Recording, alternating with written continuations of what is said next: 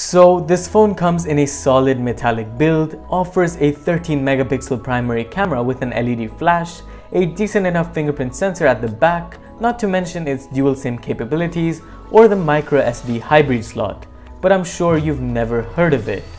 Meet the X-Touch A3. The highlight of this phone is its price. This thing comes in at just over $80 or 299 dirhams, which puts it among the lowest end budget smartphone category.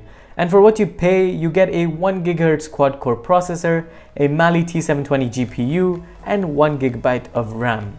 For these kind of specifications, you cannot expect the phone to fly, and performance over daily use has been average at best. There are hiccups here and there, and it's definitely not the smoothest when it comes to multitasking or browsing the web but I think X-Touch have done a good job when it comes to software.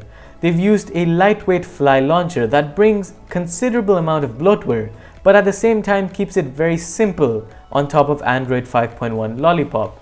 Not to mention it offers a very good level of customization, from changing scroll effects, changing wallpapers, changing widgets, to even having gesture support, which at this price point is a big deal.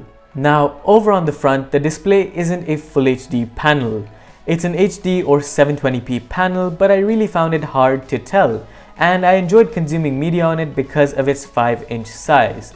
The sunlight legibility was also good, and viewing angles were decent as well because the display after all is an IPS panel, but at times I miss the contrast or the sharpness of say an AMOLED panel, but that's going a bit too far, especially at this price point.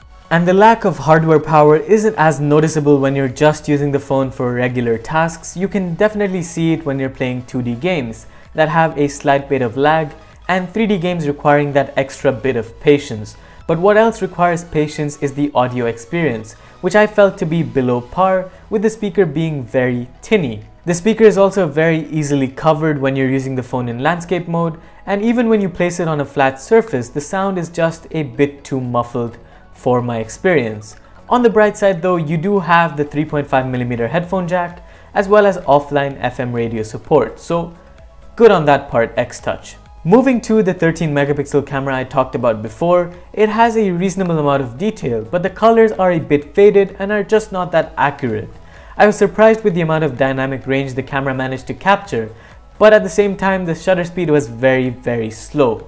Nighttime shots were not that great, but it's definitely usable when you're standing still or when the object is standing still. But if you're trying to capture something in motion, say no to that. On the front side, the 5 megapixel camera has this sort of warping effect to it when moved, and the selfies weren't as great as I expected in the day or in the night, and when you're in motion, the selfies come out blurred 99% of the time.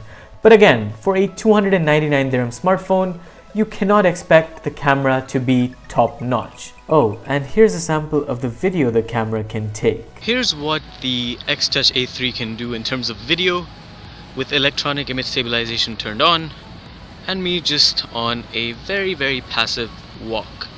The weather of course is a bonus. But what was top notch was its 2800 mAh cell. Standby times range from about 1 to 4 days and typically when I use the phone on a daily basis I had to recharge it at mid-afternoon and my usage included things like browsing the web, using social media and watching videos on LTE, which this phone surprisingly supports.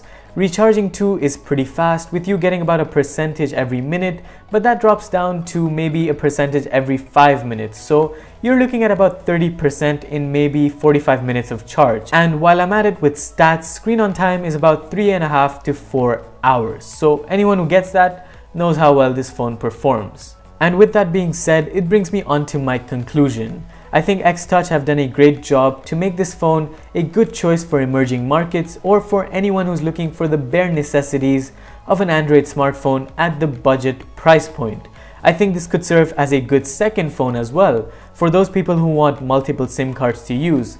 But at the same time, I don't think this would be a good choice if people who already own high-end smartphones were to switch to this phone as their primary choice because they would definitely miss all of the features that come with flagship level smartphones.